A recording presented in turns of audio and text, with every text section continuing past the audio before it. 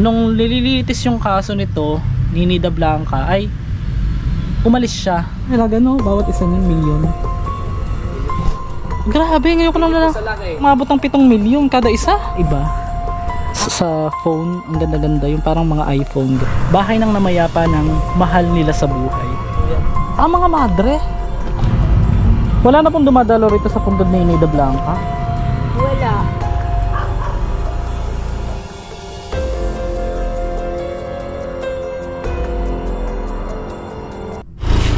Dead ma si ate hindi naman maganda si Master Gala, ang isang gumagala sa mga sementeryo, What's up mga kamaster? Welcome back to my YouTube channel. Ito na naman po si Master Gala na laging gumagala sa mga sementeryo. Charot. OA na naman sasabihin na ng mga iba OA. So, una ko napansin dito sa Loyola Memorial Park, itong napakagandang style ng Musileo guys. Tignan nyo oh. Kakaiba. Ah, speaking of kakaiba, samahan nyo po akong ikutin ang mga Musileo dito bago natin puntahan ang puntod ng sikat na actress na si Nida Blanca o kas- Malagim na kabanata sa kasaysayan ng showbiz ang pagpatay kay Nida Blanca noong November 2001.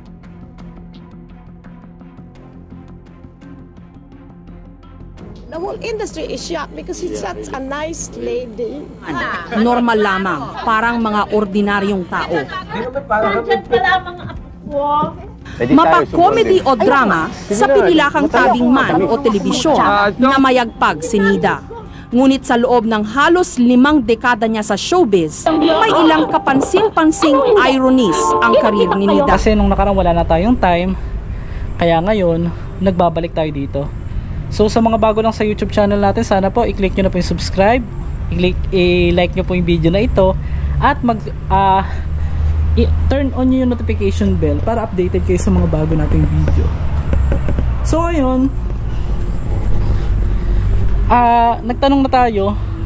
Ang sabi lang sa atin ay malapit lang daw sa entrance yung puntod mismo ni Nida Blanca. Oo, isa siyang ah, veteranang actress, ah, best actress best actress award na pinatay po ng kanyang asawa sa nakakalungkot man. Pero nandun talaga, wala na tayong magagawa. Matagal na rin nangyari yun at hanggang ngayon balita ko, hindi pa niya nakakamit ang hustisya. So, samahan niyo ako guys, ikutin natin to bago natin tunguhin ang pinaka puntod ni Madam Nida Blanca. So, here we go! So, ito guys, pansinin nyo to. Yan, nilapitan natin. Mukha siyang ah, style niya ay para siyang ah, malaki. Yung mga pang na barangay hall. Oo. Tapos ito naman, ang cute. Ah, Parang iPhone, yung pinakadulo.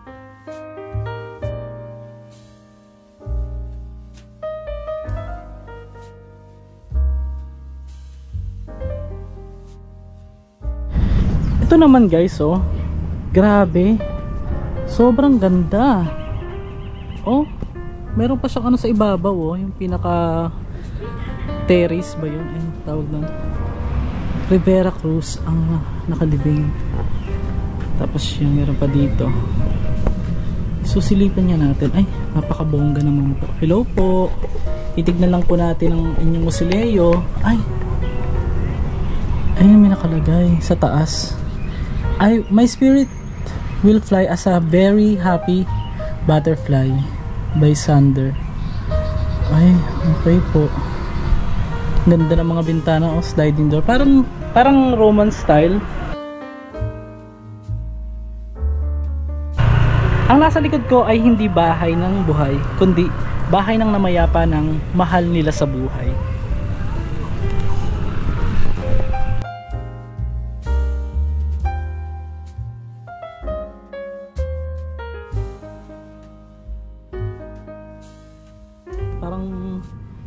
Nasa ibang bansa.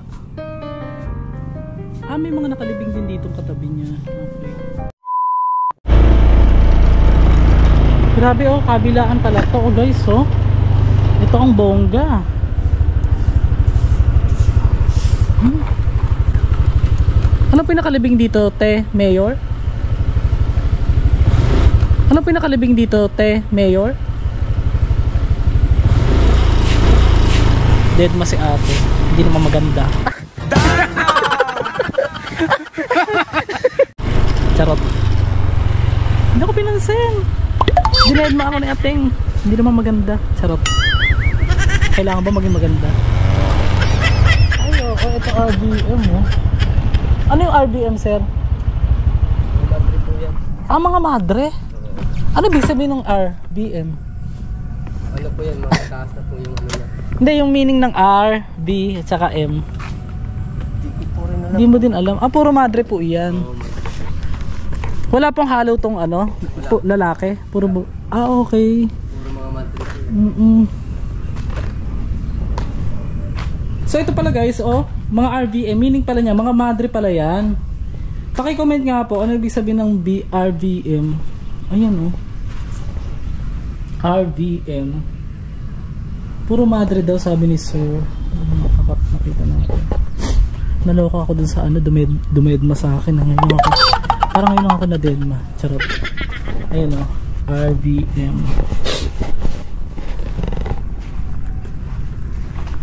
Ano yung sir? Dito na kayo nag- nag-stay?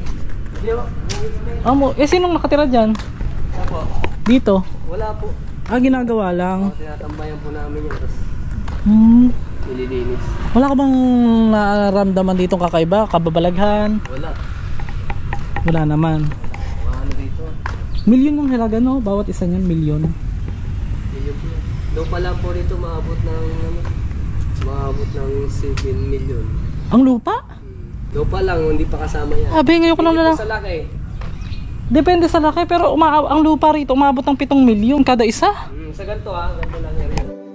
Ayon sa kanya, hindi pa raw ito ang pinakamahal. Meron pa raw mas mahal pa sa 7 milyon.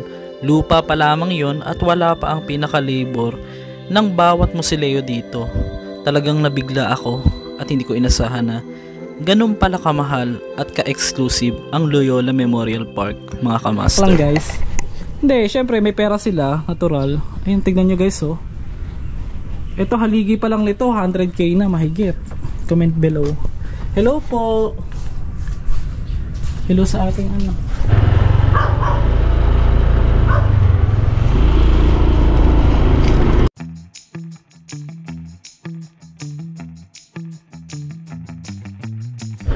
So ito yung nagpukaw pansin sa akin. Puntahan natin guys.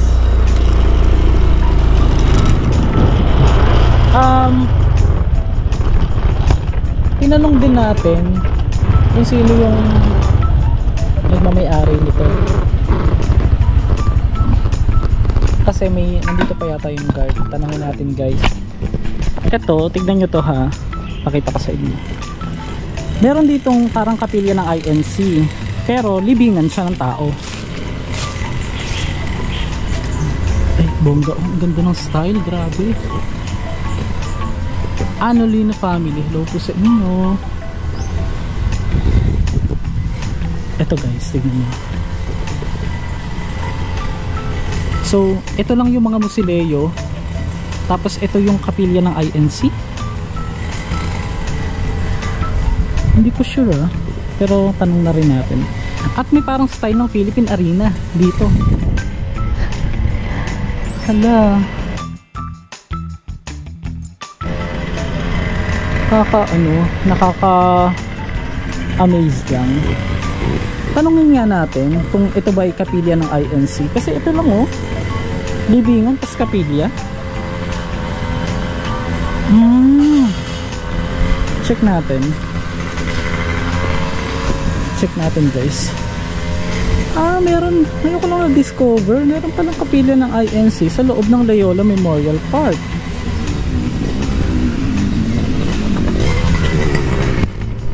Ay, hindi, siya nakikita. Nakaano siya. Hmm, ngayon ko lang nalaman. Siguro mga, hindi kaya dito ko nakalibing yung ano? Ayun oh. Nakaano siya. Parang Philippine Arena yung style. Ang ganda po. Ano ah? Nung una napagkamalang ko. Sorry po napagkamalang ko siyang uh, Musileo talaga. Eh Kapilya. Kasi talagang tingnan mo naman sa Kapilya siya talaga ng INC and then natanong din natin doon sa guard doon kanina kasi tinanong ko na mga manalo raw nakalibing dito at meron din daw na puntod sa loob. O ayon sa sabi nila. Tapos yan makikita ninyo yung style niya talaga parang kapilya ng INC mga kamaster. Tapos meron din ako na discover dito tingnan nyo siya. Hindi na natin masilip yung loob pero may laman daw yung masilip. Um engineer. Oo merong ayan o may nakalibing na engineer. Wag na po natin pakita yung details. Bawal daw kasi masyado ipakita. Ito yung katabi niya oh. parang Philippine Arena yung style. Mga ka-master paloob hello po. Grabe no wag na po natin ipakita yung pangalan ng nakalibing guys. Pero na-amaze po ako sa structure para talagang sa Philippine Arena. Tignan nyo guys. Diba bongga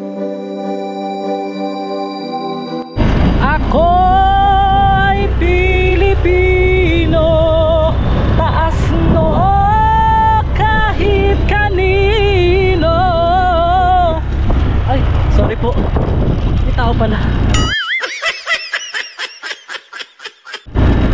Ako ay Pilipino. Ang Pilipino ay Ah, dito tayo sa kabila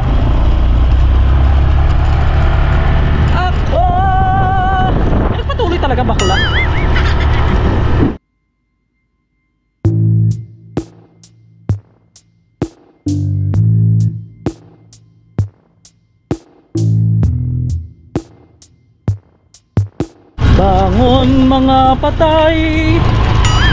Bangon mga patay. Charot lang po ah, joke lang po. Baka mamay bumangon. Katakot. Paano kaya no, one time no, parang bumangon sila. Ano lang, kumbaga parang Usap-usapan lang natin no? Matutuwa ka ba or matatakot? Comment below nga. Tingnan nyo to guys, oh, bongga. 'Di ba? Kala ko swimming pool yung taas, parang terrace pala yan.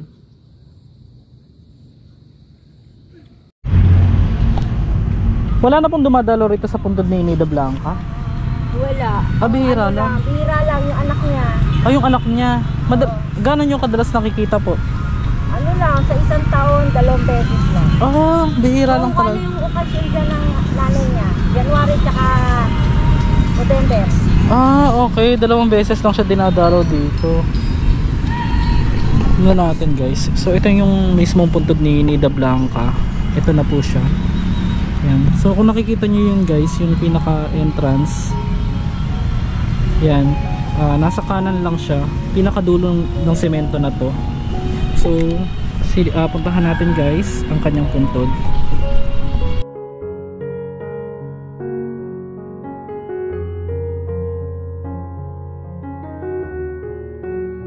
Mapa-comedy o drama sa pinilakang tabing man o telebisyon na mayagpag si Nida.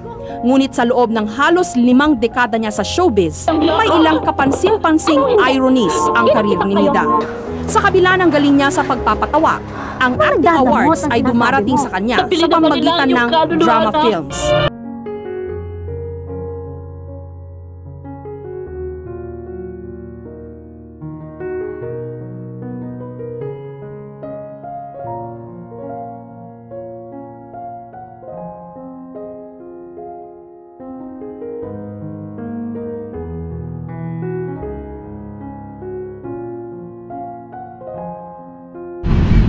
So ito guys, meron siyang katabi ritong Jose Z. Acuesa. Kasi ang tanda ko, itong tsaka Inocencia, ito yata yung mama at papa niya. If I'm not mistaken. And then, yung anak ni Nida Blanca, oo, yun yung si ano, lagay ko na lang dyan. in her grave and that continues to really really hurt me. Hindi pa rin titigil si Kay sa paghahanap ng katotohanan. My endless love for you mom with all the ay every two times lang daw napapansin ng mga sepulturero, sepulturero dito na dumadalaw dahil syempre sobrang busy din. Tsaka pinag parang tuwing pinagdiriwang lang tong January 6 at saka November 7 pumupunta rito yung anak ni Nida Blanca. So yung makikita nyo walang ano simple lang. Ito lang siya guys. Yan. Medyo may mga kalat na rin dito. At dito may napansin ako na hindi ko sure kung mga ano to yung may lam- mga laman to so yan tapos dun yung kay Julie Vega yung pinuntahan natin ito lang siya guys simple lang nakahilera siya dito So pasensya na kayo guys, uh, inuna natin yung interview yung kasi natuwa lang ako kala nanay. Ngayon, ito na po yung puntod ni Lida Blanca. So iyan. Ang tunay niyang pangalan is si Dorothy G. Jones or kilala sa bilang Nida Blanca. Mga kamaster, hindi po maganda yung kanyang ah, pagkamatay dahil siya po ay pinatay ng kanyang sariling asawa na ang pangalan ay Rod Strang. Nabalitaan ko lang yung dati medyo maliit pa ako. Pero ang tandang-tanda ko gustong gusto ko sa kanya yung mga palabas niya sa movie. Ang masarap to. Baboy, eh. Siyempre, the best meat yan. eh. Alam mo pala, Nora? Diyan sa palengke, karamihan ng mga baboy na itinitinda, double dead. Double dead? Ano ba yun? Double dead! Halimbawa, mayroong baboy na may sakit. Namatay. Ngayon, para mapakinabangan nila yon, malulugi yung may-ari ng piggery, tatawag sila ngayon sa palengke. Sasabihin nila ngayon, na kunin na yung baboy. Dahil pelikula tapos naging kapartner din po siya ni ah, John and Marcia ni ano yung pelikula ni ano ni Dolphy kam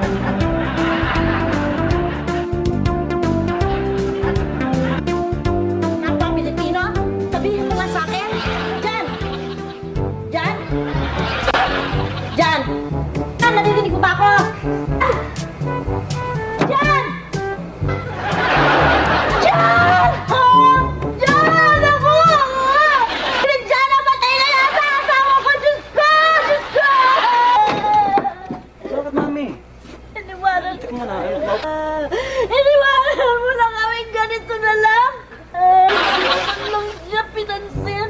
Sumasakit naman dibdib ko. Ah, ko, kahirap ng ganito. Wala na kami. Iiwanan kanino? Diyan. Ba't kayo iiwanan? Namatay na. Yan po. Huwag mo ako lalapit! Bakit? Huwag mo! Huwag mo ako pumuntahin!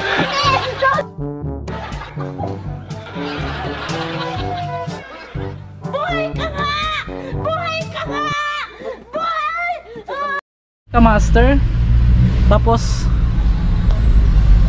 hanggang ngayon mga kamaster hindi medyo pala isipin pa or hindi pa rin totally nabibigyan ng hustisya itong pagkamatay ni Nida Blanca Di ngayon, wala pa ring sagot sa mga tanong kung sino at bakit pinatay ang makislap na bituin ng sine Pilipino. Hindi, nalilim, hindi nalilimutan ng fans si Nida, gayon din ng kanyang mga kaibigan tulad ng veteranang aktres na si Luz Valdez. hindi lang birthday niya na naalala ko siya. Siyempre, na, naiiyak ako, pero umasa sa Panginoon, nadudoon siya. Pantala sa riwa pa rin kay Kay Torres ang sakit na pangungulila sa ina lalo't hindi na umusad ang kanyang kaso. dahil nga po nung una ang daming suspect na base sa mga ibang kasi medyo matan, mat, ma- matagal na po yun eh bata pa ako nun eh so nung na-recall ko sa internet ito palang kanyang puntod or ang ito palang kanyang asawa kamaster ay ah, nung panahon pa ni Fidel Ramos ah, nung nililitis yung kaso nito ni Nida Blanca ay umalis siya. Oo. Nagpunta ng Amerika. Ngayon humingi ng ano yung ah, petition ng Korte Suprema dito sa Pilipinas na pabalikin dito sa si Trunk si Rod Strunk.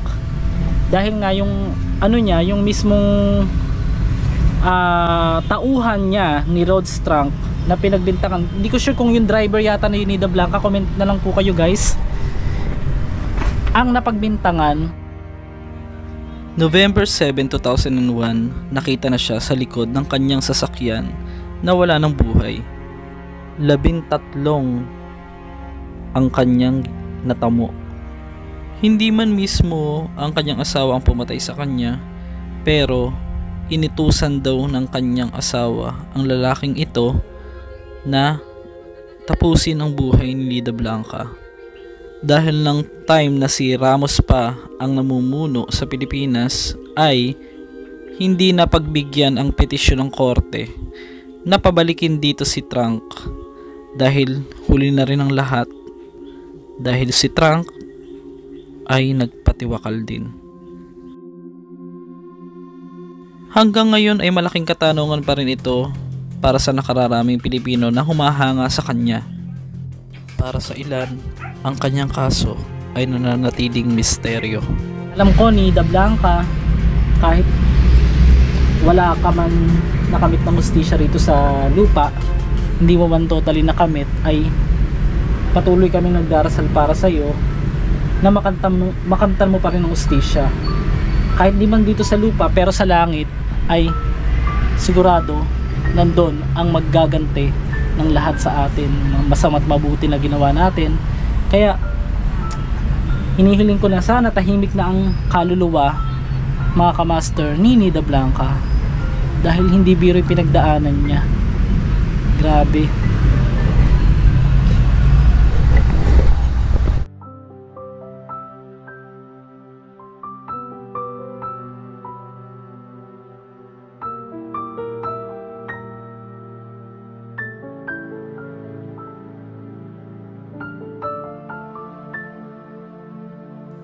Gayunpaman ay mananatili ka pa rin sa aming puso.